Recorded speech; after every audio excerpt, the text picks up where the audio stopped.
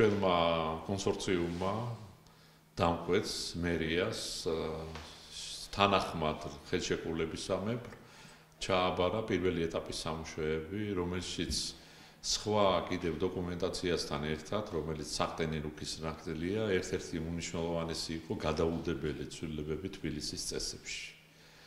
ჩვენ ამ ეტაპზე შევთავაზეთ მერიას შესაბამისად არქიტექტურის სამსახურს რა არის ის გადაუდებელი ცვლილებები, რაც საჭიროა ამ ეტაპზე განხორციელდეს, რომ არ დახვდეს წინ მიწათსარგებლობის გენერალური გეგმის დასრულებამდე რაიმე დიდი შეცდომა. ამიტომ უპირველესად ყოვლისა ჩვენმა საპროექტო ჯგუფმა ჩათვალა პირველ ამოცანად რომ შემოიღოს მერიამ შეზღუდვები განაშენიანების ინტენსივობის მატებასთან დაკავშირებით. ყველაფერი ეს გამოწვეულია იმ გარემოებით რომ საცხოვრებელმა უბნებმა ძალიან ბევრი რამ დაკარგეს ასეთი უზომო გამჭიდროებებით და მოხდა საცხოვრებელი გარემოს გაუარესება.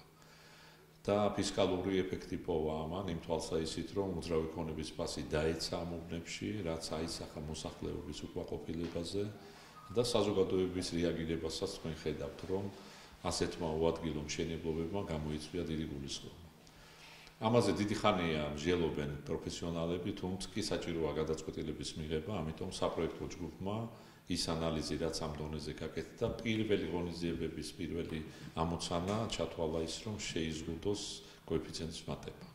ჩვენ შეთავაზებაში იყო მატება ერთი საფეხურით მხოლოდ რომ არ დახვდეს წინ დიდი შეცდომები შემდეგ ეტაპებს მეორე წესებში ცვლილება რაც ჩვენ შევთავაზეთ ჩვენს დამკვეთებს ქალაქის მერიას და არქიტექტურის სამსახურს ეს გახლავთ ბოლო პერიოდის გახშირებული გარემოებებია იმასთან დაკავშირებით, რომ რეკრეაციულ ზონა 2-ში და რეკრეაციულ ზონა 3-ში სპეციალური ნებართვით ხდება ინდივიდუალური საცხოვრებელი სახლების შენებლობა.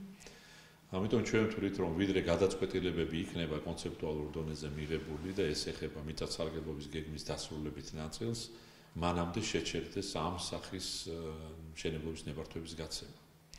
ამიტომ მეორე ესეთი ცვლილება, რაც ჩვენ შევთავაზეთ, ეს გახლავთ რეკრეაციულ ზონებში კონკრეტულად RZ2 და RZ3-ია ისა, მაგრამ ზოგადად რეკრეაციულ ზონებში აიგზალოს საცხოვრებელი ბინამშენებლობის ობიექტების მშენებლობის ნებართვების გაცემა.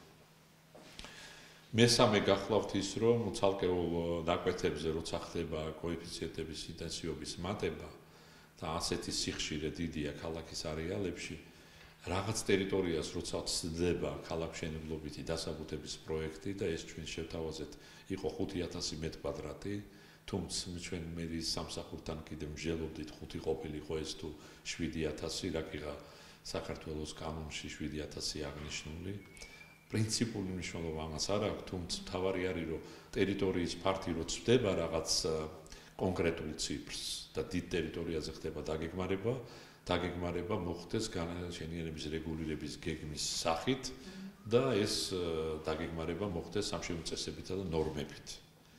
და მეოთხე მნიშვნელოვანი შეთავაზება ჩვენი აზრით ეს არის, რაც ფიქრობთ სამსახურმაც გაითვალისწინა, იმიტომ რომ ჩვენ გვქონდა შეხვედრები, რომ აუცილებელია დამუშავდეს ეტალონური პროექტი ქალაქშენობის დასაბუთებისა, რომ კონკრეტულმა ავტორმა რა წარადგინოს ამისთვის, უნდა იყოს ამისი ჩამონათვალი ეტალონური პროექტი.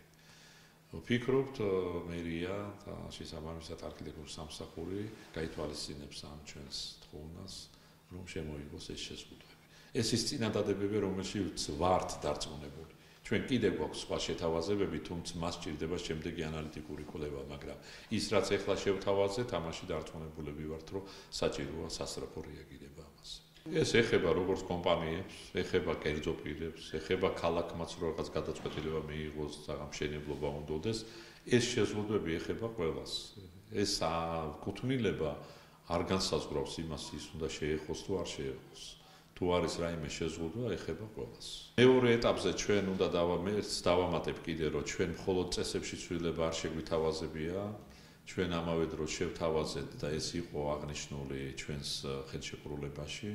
რომ ჩვენ მოგვემზადებინა წინადადებები თვითონ მიწათსარგებლობის გეგმაში გადაულებელი ცვლილებები რა არის საჭირო.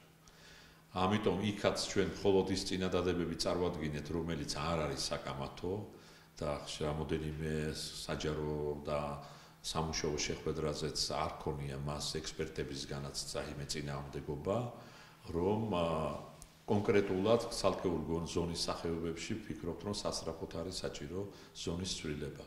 რაკიღა მერიამ იმ ტერიტორიებზე, კონკრეტულ ნაკვეთებზე რო იმოქმედოს და გასცეს ქალაქშინო პირობები, საჭიროა ზონის ცვლილება იყოს, იმიტომ რომ აი ხო რამოდენიმე შემთხვევა, სადაც საზოგადოების საქმიანი ზონის სახეობაა დანიშნული რეკრეაციული აა ნაცვლად რომელიც გამოიწვევს იქ ძალიან ცუდ განვითარებებს. ამიტომ ასეთი წინადადებაც არის 12 პოზიციაზე.